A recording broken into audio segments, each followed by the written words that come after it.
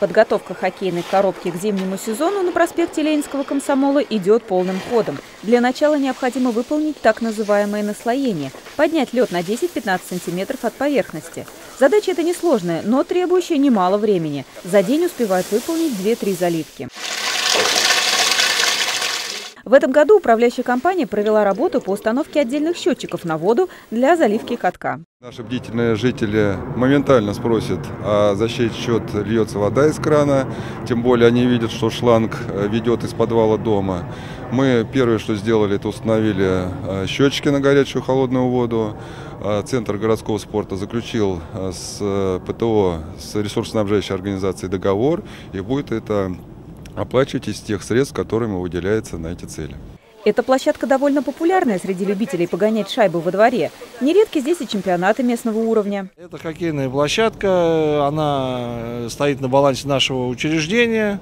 Вот, мы ее содержим. Она была поставлена лет пять назад городом вот, и передана нам в оперативное управление.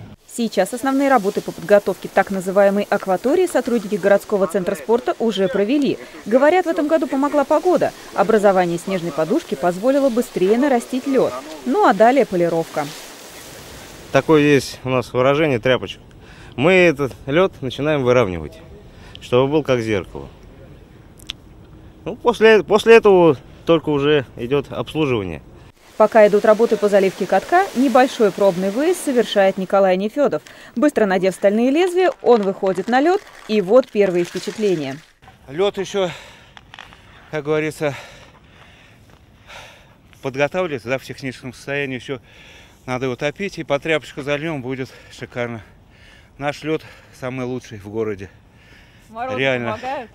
Морозы помогают, жители помогают.